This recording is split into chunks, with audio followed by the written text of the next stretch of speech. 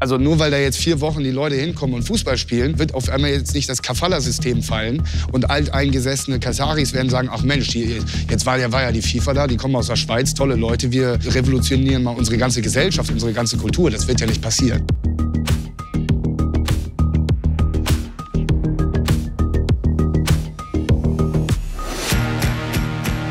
13 Fragen, hier kommt die erste. Sollte die deutsche Nationalmannschaft die WM in Katar boykottieren? Ja oder nein? Wenn ihr sagt, ja, angesichts der Menschenrechtsverletzungen ist ein Boykott mehr als angebracht, dann bitte auf die grüne Seite gehen. Und wenn ihr sagt, nein, ein Boykott könnte sogar eventuell mehr schaden als helfen, dann bitte auf die gelbe Seite gehen.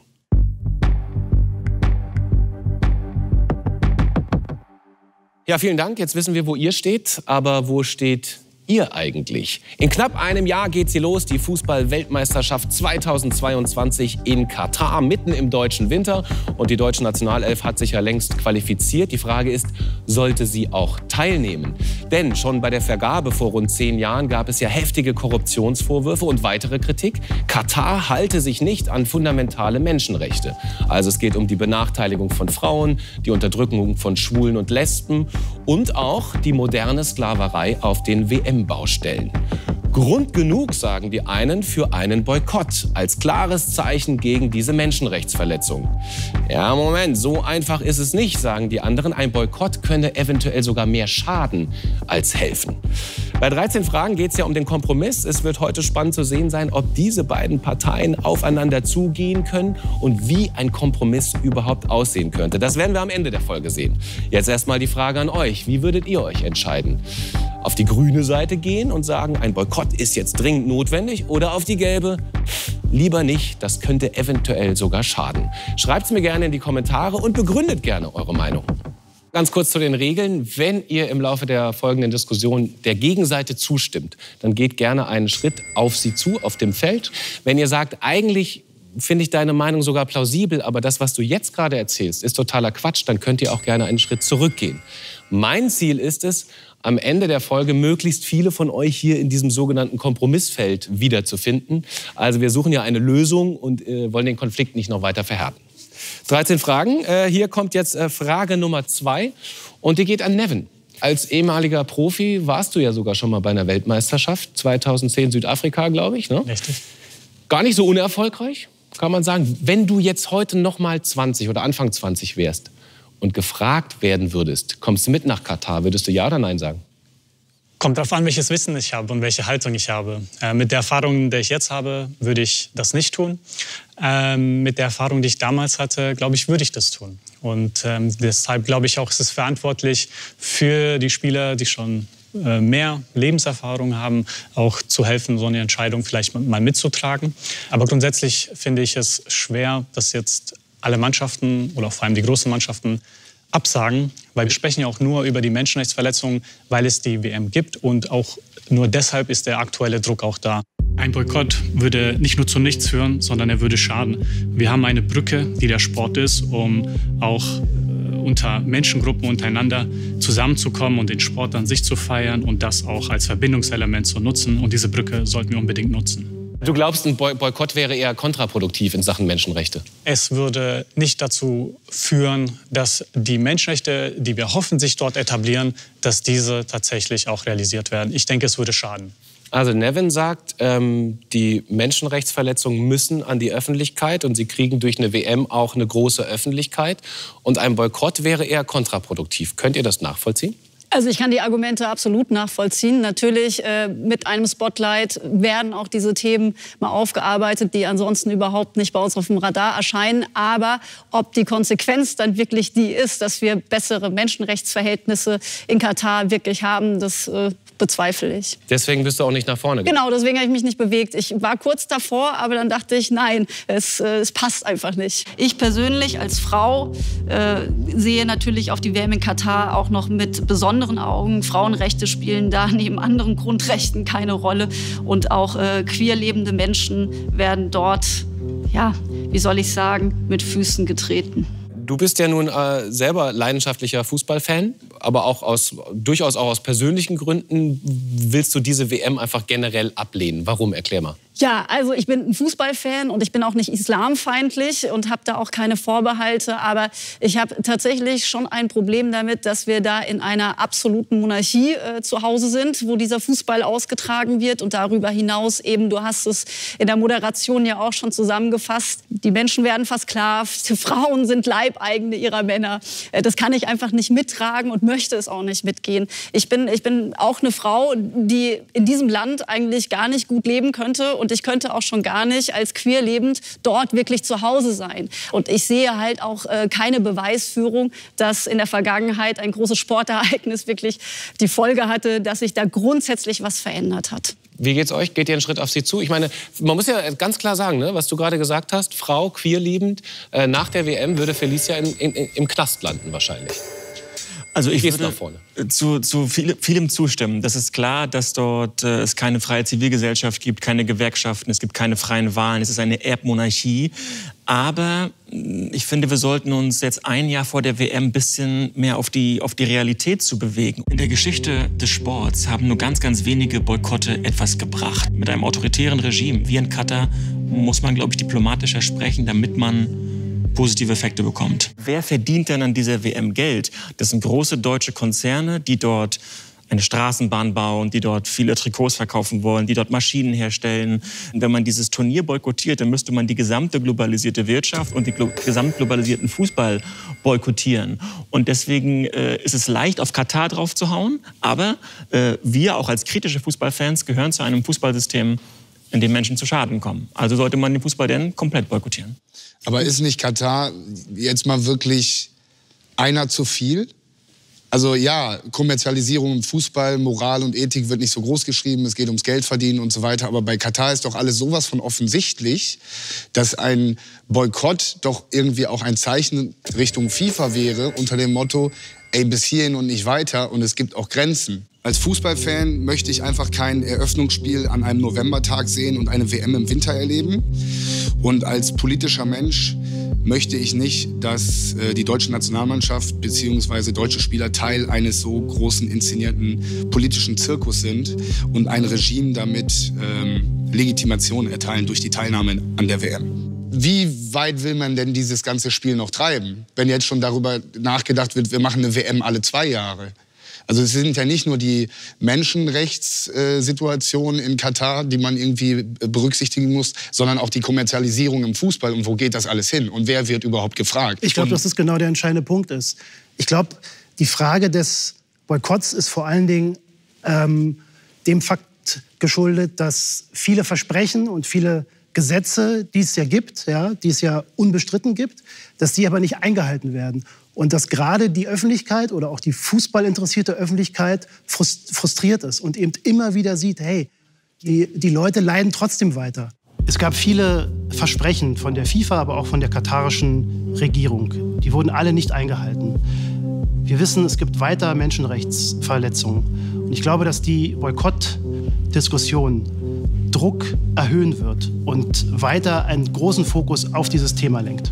Aber das ist doch eine spannende Frage. Ab welchem Grad Menschenrechtsverletzung ist ein Boykott gerechtfertigt und wann nicht? Also ich, wir hatten ja Brasilien, Südafrika lief auch schon vieles nicht besonders gut, auch in Sachen Menschenrechte. Warum ist dann Katar jetzt der Punkt, wo, wo du zum Beispiel sagst, Boykott jetzt? Ich glaube, es geht gar nicht darum, dass jetzt Leute sagen, dort soll keine WM stattfinden. Dort kann meiner Meinung nach sehr wohl eine Fußball-WM stattfinden. Aber diese ganzen Begleitumstände, die wir in den letzten elf Jahren sehen, die führen eben dazu, dass auf Deutsch gesagt, die Fußballfans die Schnauze voll haben und sagen, bis hierhin und nicht weiter. Bis hierhin und nicht weiter. Kannst du nachvollziehen, Sebastian? Ich kann es zum Teil nachvollziehen. Ich glaube, dass sich die Diskussion eben jetzt an Katar ähm, so hochgeschaukelt hat, äh, aus ganz vielen Gründen. Benjamin, du hast einige davon angesprochen. Ich glaube aber, dass ein Boykott eben nicht dazu führen würde, dass diese Diskussion weitergeführt wird. Ich glaube, ein Boykott äh, ändert nichts. Ein Boykott von einzelnen Ländern trägt nur dazu bei, dass die Situation sich verschärft. Nicht alles in Katar hat sich verbessert, aber es gibt Fortschritte und diese sind vor, vor allen Dingen aus Druck erfolgt. Und deswegen glaube ich, ähm, dass die Aufmerksamkeit nur dann erfolgen kann, wenn man das ganze Thema breit anlegt. Ähm, und dazu gehört eben auch Aktivität in Katar und Präsenz in Katar zu zeigen. Wir sprechen einmal über die Situation der Menschenrechte. Da bin ich der Meinung, dass äh, Migration nicht nur in Katar stattfindet, sondern äh, Migration quasi nach Katar führt, aber ja auch schon in Pakistan, in Bangladesch, in vielen, vielen anderen Ländern stattfindet, wo die Situation für die Menschen so katastrophal ist, wirtschaftlich und gesellschaftlich, dass sie quasi das Land verlassen müssen. Sie werden auf der Reise dahin von oftmals kriminellen Rekrutierungsagenturen ausgebeutet, müssen enorme Summen bezahlen und landen dann in Katar, wo sozusagen dann die Ausnutzung und die Ausbeutung in gewisser Art und Weise weitergeht. Und deswegen glaube ich, eine Austragung der WM verbunden mit Maßnahmen, die vom Sport, von der Politik, von NGOs, von der internationalen Gemeinschaft diese Migrationsstrukturen kritisieren in der Gesamtheit, die macht, glaube ich, Sinn. Das Problem ist nicht Katar als Land, das Problem ist die FIFA. Das Problem ist die Institution der FIFA, die eben in den letzten Jahren bei vielen WMs äh, eben ja, äh, korrupt vergeben hat, wo Korruption eine große Rolle spielt. Es gibt viele Menschen in der Region, die sich freuen, dass diese WM auch mal in ihrer Region stattfindet und nicht nur in Südamerika, Europa oder Asien. Diese Leute haben eine gewisse Berechtigung auch, denen sollte man zumindest zuhören. Und von daher, glaube ich, sind das die Dinge, über die wir sprechen sollten. So, jetzt Hubi, äh, du bist ja so halb gerade nach vorne gegangen. Halb so, weißt so nicht so ganz bisschen, genau. ja. Bleiben wir doch mal beim letzten Punkt vielleicht. Ne? Ich würde jetzt einfach den Punkt, den Menschen die in der Region würdest du die Fußball-WM madig machen. Ich weiß ehrlich gesagt gar nicht, wie die Katarer, äh, Katarer das selber sehen. Gibt ja auch nicht so viele. Gibt ja, glaube ich, nur 200.000, 300.000. Der Rest sind ja alles Gastarbeiter 300.000, im ja. Land. Es geht ja auch nicht Aber nur, Entschuldigung, ich Es geht um eine Region. Ne? Es geht um die Region. Also es geht sozusagen um die arabische Welt, auch die, um die islamische Welt. Und quasi Katar hat eben aus vielen Gründen, über die wir schon gesprochen haben, die auch echt problematisch sind, die Möglichkeiten, so eine WM auszurichten, die halt Ägypten, Tunesien oder Jordanien nicht hat. Aber wollte ich nicht unterbrechen, entschuldige. Ja, nee, nee, das ist ja alles gut. Ja, klar, die, die, da freuen sich da wahrscheinlich auch ein paar Leute. Aber ich meine, äh, 200 Milliarden äh, Euro kostet dieses äh, ganze Projekt, glaube ich. Und da muss man sich ein bisschen die Frage der Verhältnismäßigkeit stellen. Also wir, es ist 2021, wir reden über äh, Ressourcen, Klimawandel und so weiter. Und dann stellt man da mitten in die Wüste das da alles hin für 200 Milliarden Euro auf der Basis einer korrupten Vergabe in ein Land, wo die Fußballkultur quasi nicht existiert. Damit wir so einen Eiertanz machen, damit wir im Winter, damit das auf jeden Fall da stattfinden kann, im Winter auf dem Weihnachtsmarkt die WM gucken. Also das ist doch ein bisschen viel des Guten. So, jetzt Meinung sind alle drei nach hinten gegangen. Warum? Zum einen, weil wir Katar nicht aus den falschen Gründen kritisieren sollten. Das Winterargument ist kein Argument, weil irgendwo ist überall, ist es, ist es mal warm, ist es mal kalt. Und ich finde, wir sollten auch mehr auf die Argumente und die Motivation von Katar schauen. Katar ist ein sehr wohlhabender Staat. Die brauchen unsere Zuneigung eigentlich nicht. Warum will Katar die WM? Weil sie lange äh, unter der Bedrohung von Saudi-Arabien standen, weil sie Angst vor einem Krieg haben, vor einer Invasion. Deswegen nutzen sie die Nähe zu westlichen Partnern, Wissenschaft, äh, Fußball, Politik eben auch äh, als Sicherheitspolitik. Die, die Frage ist, ob wir daran mitmachen sollen. Dennoch, die UN hat mehr als 200 Mitglieder, die FIFA hat noch mehr Mitglieder und die besteht eben nicht nur aus europäischen Demokratien, Deutschland, Skandinavien.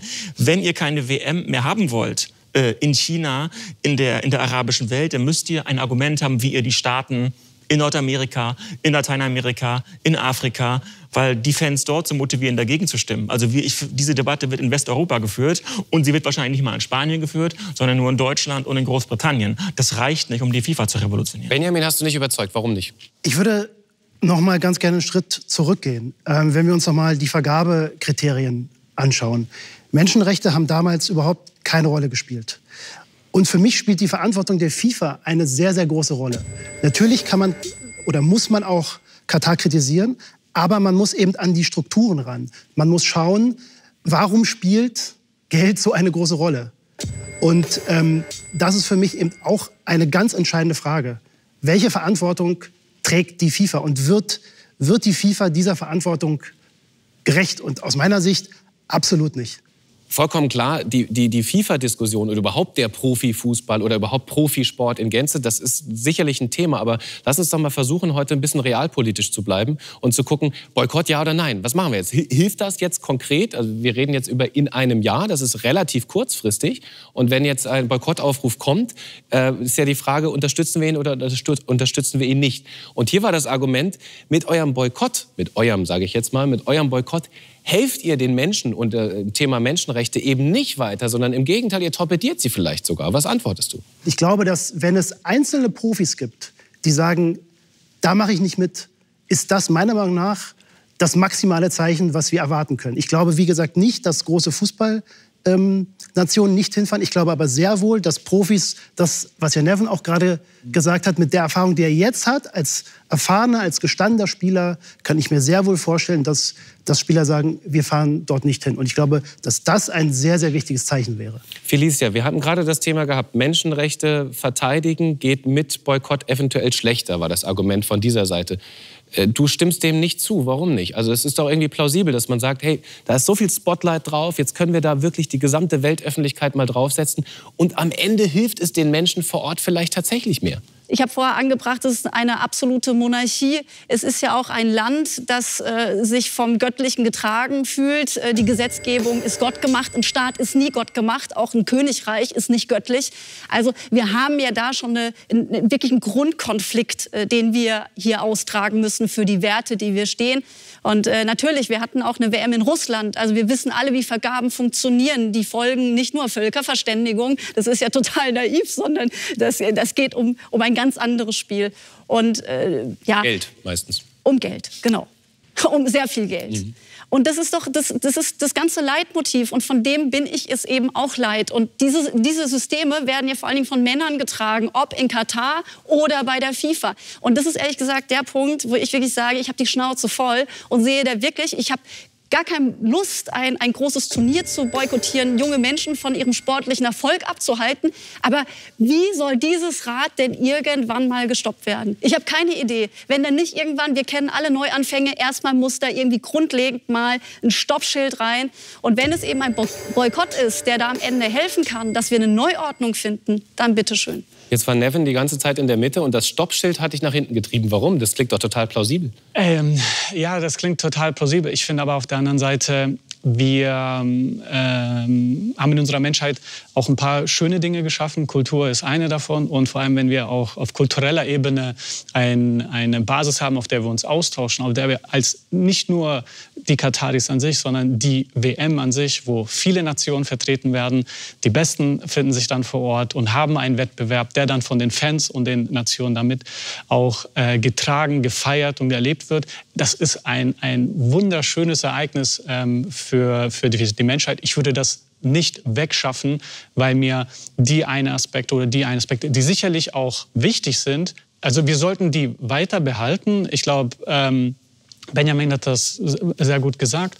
Ähm, wir sollten sehr, sehr gezielt mit den Maßnahmen umgehen. Nicht einfach wegschaffen und dann hoffen, dass irgendwas sich verändert, sondern tatsächlich sehr gezielt da, wo es nötig ist, da auch die, die Punkte draufsetzen. Wir haben schon darüber gesprochen in Katar. Die Menschenrechtsverletzungen sollten wir nicht klein machen. Ganz im Gegenteil, wir sollten sie groß machen und auch groß halten, weil es sind Menschen gestorben. Amnesty hat jetzt auch vor ein paar Tagen darüber berichtet, dass genau diese politischen Maßnahmen, über die du sprichst, die nicht implementiert wurden, ja, zumindest gab es politische Maßnahmen. Und in diesem Fall müssen wir natürlich auch zur Kenntnis nehmen, die kam nicht durch eine soziale Revolution, wo die Leute das eingefordert haben, sondern in diesem Fall müssen wir leider annehmen, es gab erstmal den politischen Wandel und hoffentlich kommt dann auch der soziale Wandel. Gleichzeitig können wir auch den sozialen Wandel für Menschenrechte darin etablieren, indem wir den Kontakt und auch den Respekt füreinander aufbauen. Und da rede ich nicht über füreinander von Politik zu Politik unbedingt, sondern auch zwischenmenschlich. Und da sehe ich es als falschen Punkt jetzt das erste Mal, dass im Nahen Osten eine WM äh, ausgetragen wird, genau ist dann zu diesem Zeitpunkt zu machen. Und da gebe ich euch auch völlig recht. Fußball das ist eine ganz andere Debatte. Fußball verliert, äh, äh, verliert den Anker und es geht nur noch um Geld. Äh, Newcastle wurde vor kurzem aufgebaut. Äh, ich bin da nicht dafür, ganz im Gegenteil. Und trotzdem ist Hubi nach Nevins Aussage so leicht nach vorne gegangen. Er hat, Nevin hat ja auch argumentiert, es hilft im Zweifel den Menschenrechtslage sogar mehr, wenn da wirklich was passiert und endlich mal dieses zarte Pflänzchen so ein bisschen gegossen wird, wenn ich dich richtig verstanden habe. Wie erklärst du dir das? Also ich bin nach vorne gegangen, weil Nevin sagte, man muss sehr gezielt äh, gucken, was man da macht. Ich glaube auch, dass es illusorisch ist, dass ganze Verbände jetzt äh, das boykottieren werden. Aber ähm, die Ben ja auch sagte, ein Einzelner kann schon sehr viel bewegen. Wenn ein großer Spieler oder ein Spieler einer großen Nation sagt, ich gehe da nicht hin, und er hat vielleicht einen schlauen Berater, der sagt, pass mal auf, gehen die, dieses und jenes äh, Medienformat und dann thematisieren wir das alles mal. Warum gehst du da nicht hin? Und wir ziehen das über deine, über deine Biografie und über deine Entscheidung. Und du setzt jetzt quasi durch deine Entscheidung zu boykottieren als Einzelner den Spotlight auf Katar.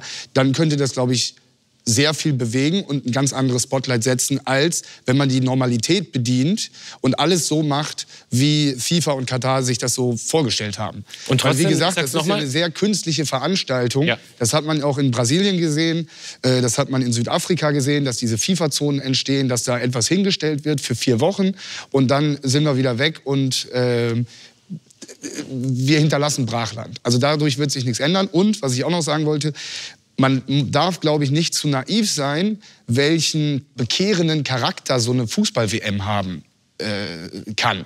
Also nur weil da jetzt vier Wochen die Leute hinkommen und Fußball spielen, werden ja jetzt, wird auf einmal jetzt nicht das Kafala-System fallen und alteingesessene Kasaris werden sagen, ach Mensch, die, jetzt war ja, war ja die FIFA da, die kommen aus der Schweiz, tolle Leute, wir äh, revolutionieren mal unsere ganze unsere ganze Gesellschaft, unsere ganze Kultur. Das wird ja nicht passieren. Äh, die Menschenrechtsaktivistinnen von Amnesty International und Human Rights Watch sagen, Mag ja alles sein, dass, dass du recht hast, aber trotzdem sind wir gegen einen Boykott, weil wir glauben, dass dieses zarte Pflänzchen so besser gegossen werden kann. Was antwortest du denen? Ich weiß, dass das illusorisch ist. Unabhängig davon. Äh, also, wenn du es dir packen Der DFB könntest. duckt sich ja in der ganzen Sache ziemlich weg. Also vom DFB ist, glaube ich, äh, so ziemlich gar nichts zu erwarten.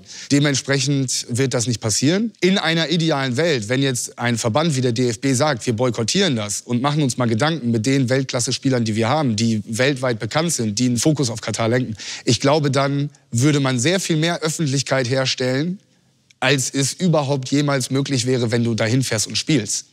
So, Sebastian ist die ganze Zeit im Hin- und Herlaufen, habe ich gesehen. Du warst mal in der Mitte, dann bist du wieder zurückgelaufen. Also ich bin vor allen Dingen deswegen zurückgegangen, weil das, weil das religiöse Argument kam. Darauf möchte ich jetzt aber weniger eingehen, sondern ich möchte noch kurz was zum Kafala-System sagen. Du hast, äh, hast natürlich grundsätzlich recht. Es äh, ist ein System, was es schon seit Generationen äh, nicht nur in den Golfstaaten, sondern in der gesamten arabischen Welt gibt. Ähm, es beruht eher auf Gewohnheitsrecht als auf kodifiziertem Recht.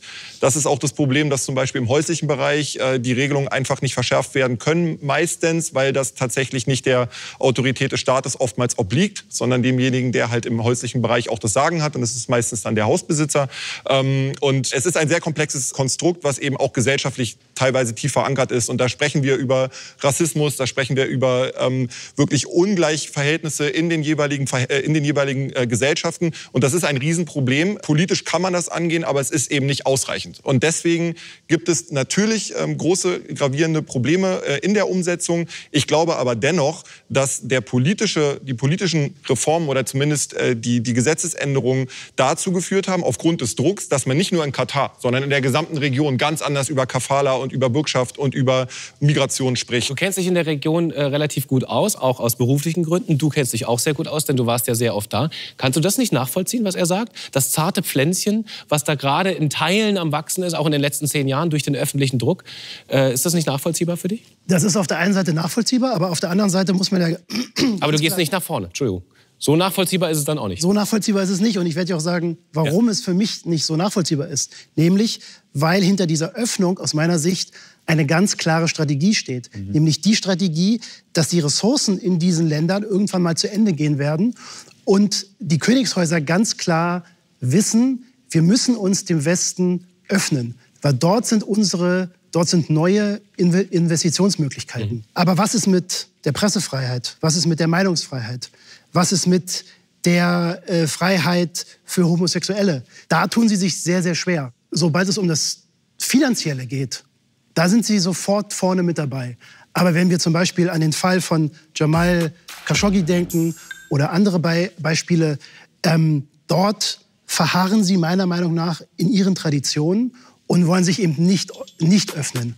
Jetzt könnte, natürlich, jetzt könnte man natürlich argumentieren, es könnte alles viel besser sein. Aber Felicia, wäre es vielleicht ohne diese WM in Katar alles viel schlimmer?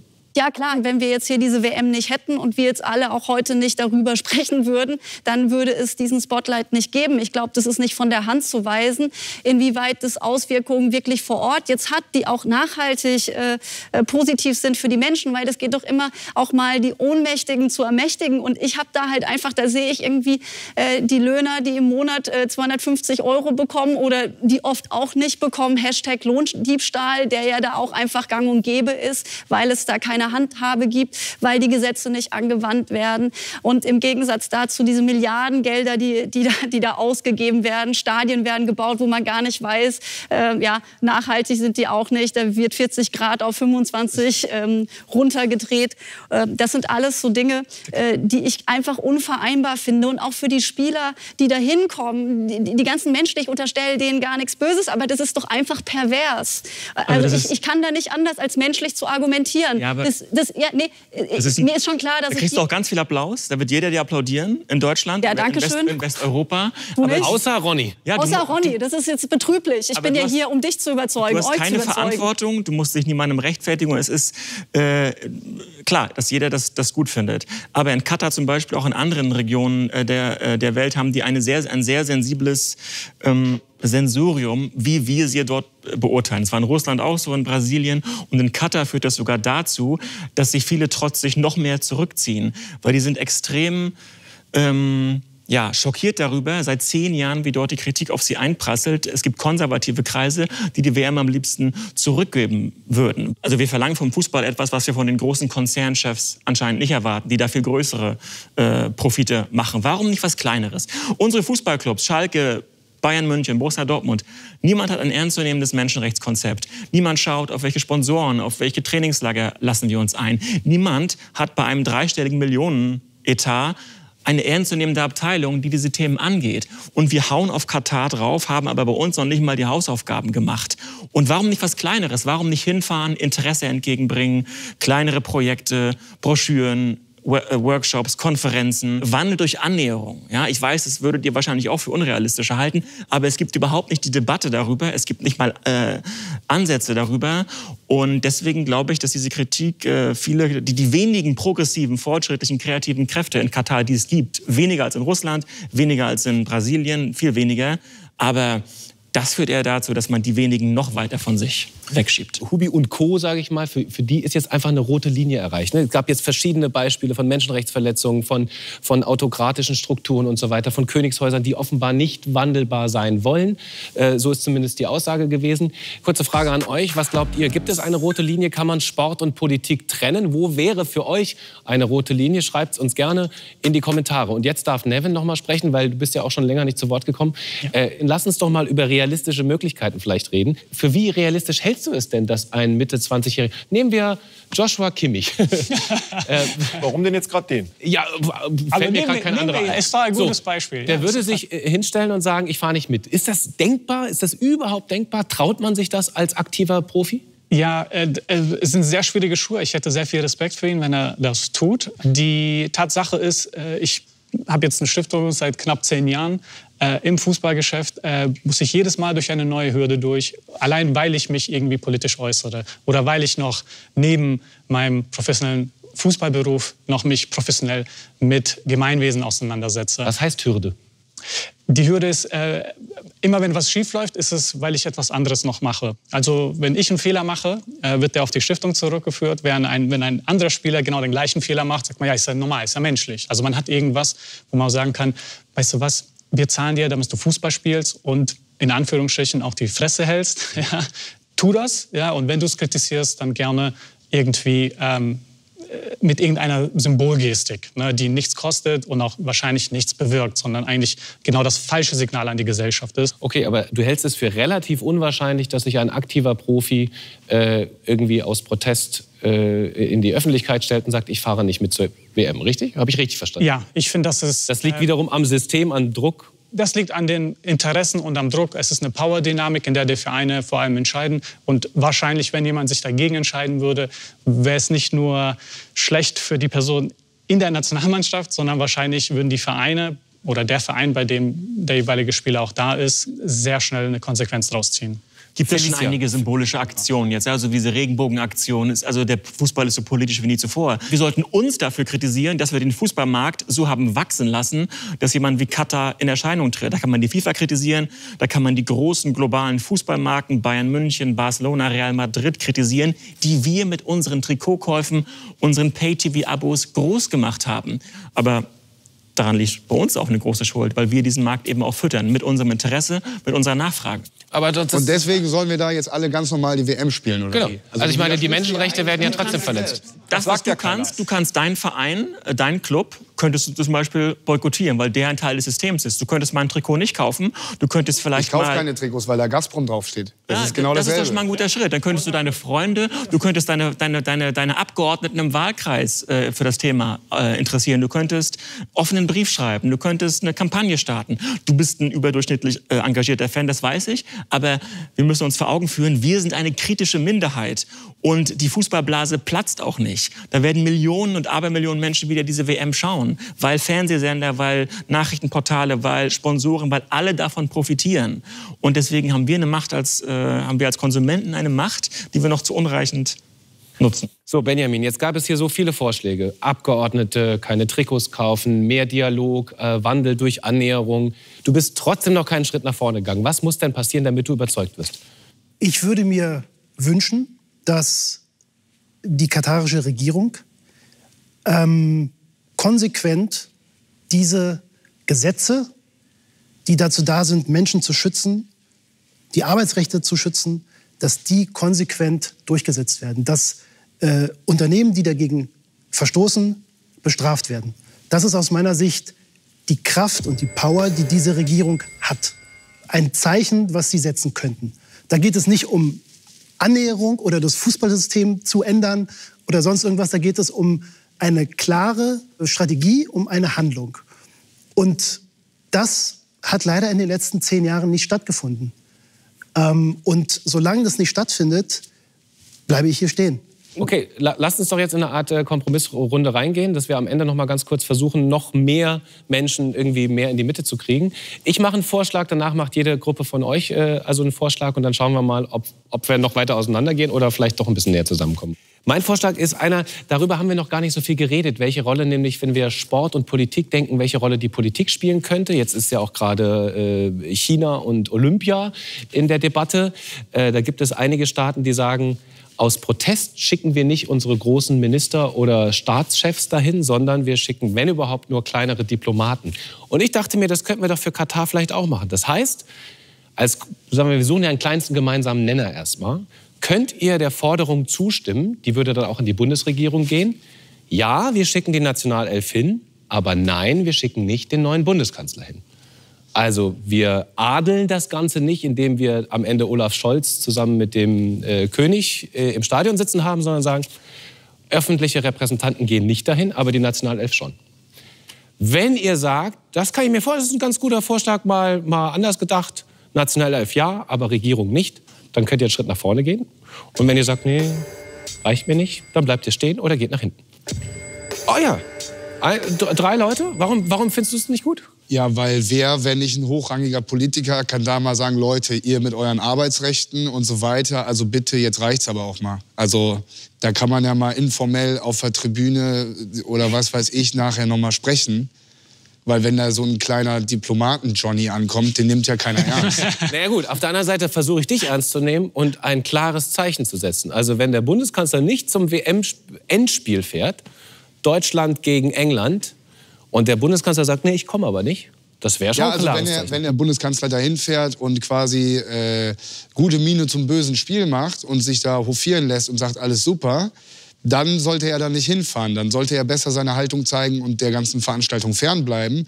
Wenn er aber sich vornimmt, da irgendwie mal auf den, also auf den Tisch zu hauen, in Anführungsstrichen, oder den Finger in die Wunde zu legen und ein bisschen die äh, den Druck aufrechtzuerhalten, dann ist das ja dann dort die Chance. Aber es geht ja um Kompromisse, deswegen finde ich, das ist ein, ist ein guter Kompromiss. Wir haben fast jetzt schon Rollen getauscht, weil das ist eigentlich auch meine Haltung. Trotzdem würde ich von dieser Haltung ein bisschen abrücken.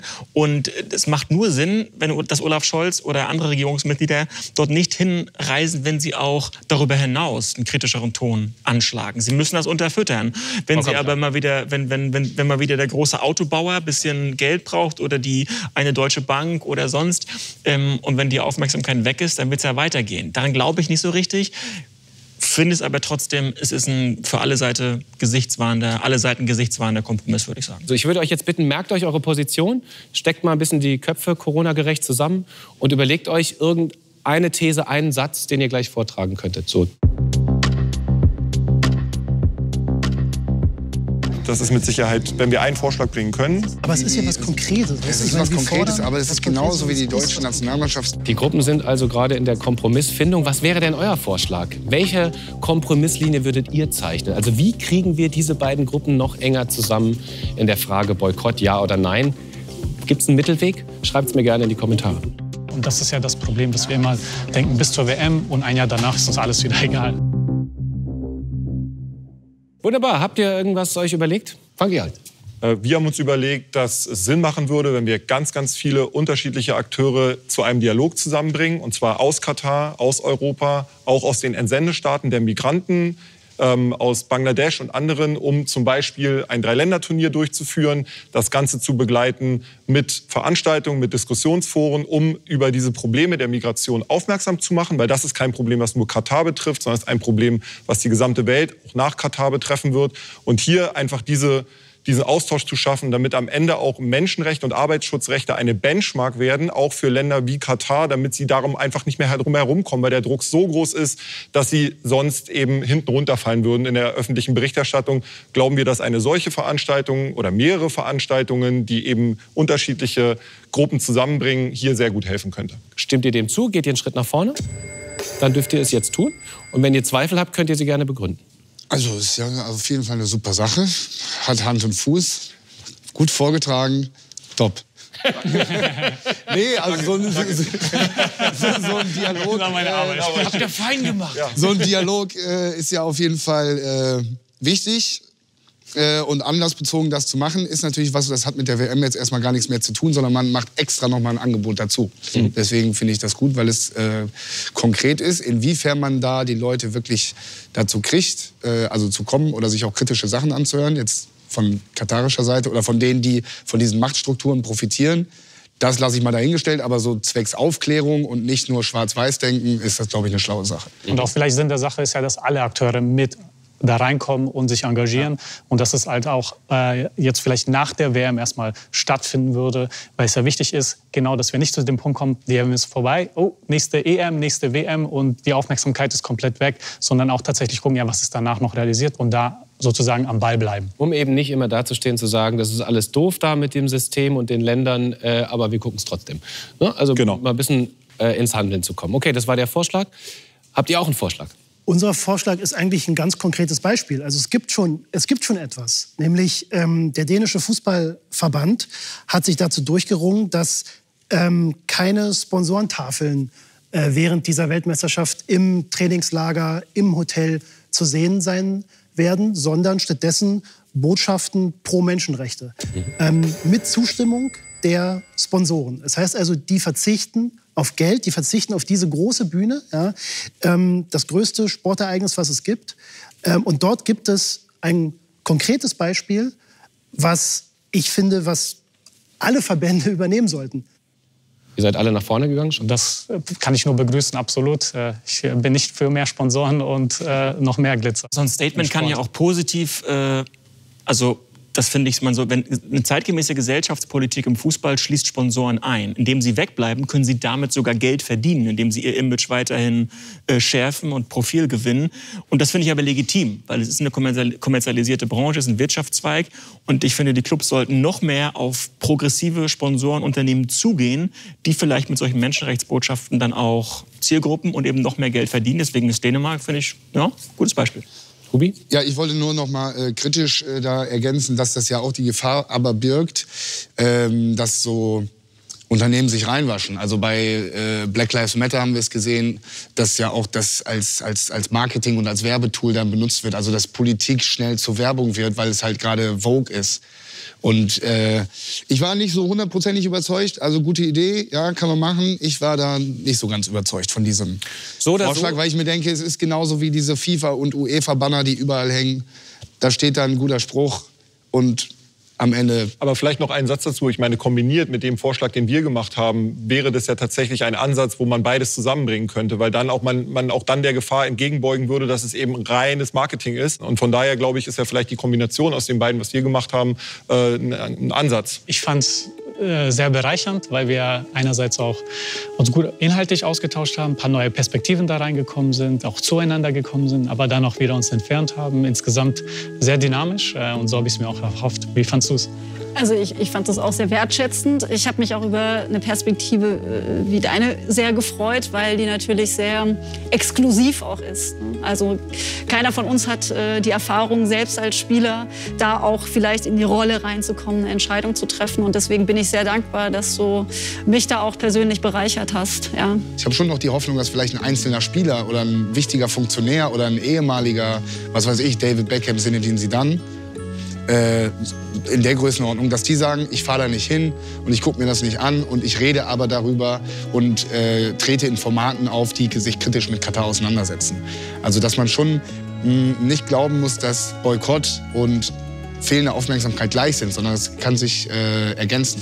Ja, würde ich zustimmen. Äh, ich finde es schade, dass so wie wir diskutiert haben, ja, kritisch, trotzdem gleich wertschätzen, das hätten wir viel früher machen sollen. Also die WM wurde ja vor elf Jahren vergeben. Es ist sehr, sehr lange her und das Narrativ ist gesetzt. Und es wäre schön gewesen, wenn wir früher auf die Idee gekommen wären. Also wir haben gesehen, ähm, wenn man Kompromisse sucht oder Lösungsvorschläge sucht, kann man auch welche finden. Äh, ihr seid alle relativ nah zusammengekommen. Ich habe das Gefühl, wenn man diese ganzen Vorschläge jetzt kombiniert, dann würdet ihr vielleicht sogar noch weiter im inneren Feld stehen. Aber ich will euch jetzt da nicht hindrängen. Ja, liebe Politik, lieber äh, DFB, liebe Sponsoren, wir haben hier ein paar Vorschläge gemacht. Bitte äh, achtet sehr darauf, wie ihr mit euren RegierungsvertreterInnen umgeht in Katar. Bitte äh, nehmt diese, diesen Vorschlag ernst, gründet ein Netzwerk mit allen zusammen, um eben einen nachhaltigen Dialog über die WM hinaus zu etablieren. Und äh, vielleicht vielleicht, liebe Sponsoren und lieber DFB, könnt ihr euch bei den Dänen tatsächlich ein Beispiel nehmen. VW, ne, Grüße. Ähm, hier liegt einiges auf dem Tisch. Äh, wir haben den Eindruck, das könnte eventuell weiterhelfen. Und die nächste Folge heißt dann FIFA zerschlagen, ja oder nein. In diesem Sinne, ganz herzlichen Dank. Merci. Danke. Danke. Vollkommen klar, alle Beteiligten heute sind natürlich gegen Menschenrechtsverletzungen. Die große Frage wird sein, wie gehen wir am besten gegen sie vor? Und ich glaube, ein weiteres Thema ist heute auch noch deutlich geworden, nämlich, dass der Profifußball an sich mal auf den Prüfstand gestellt werden sollte. Das betrifft auch den DFB und vor allem die FIFA. Wenn ihr 13 Fragen nicht so schlecht findet, dann abonniert doch einfach unseren Kanal. Das könnt ihr hier tun. Und eine weitere Folge 13 Fragen findet ihr hier oben. Und hier gibt es ein weiteres Video zum Thema.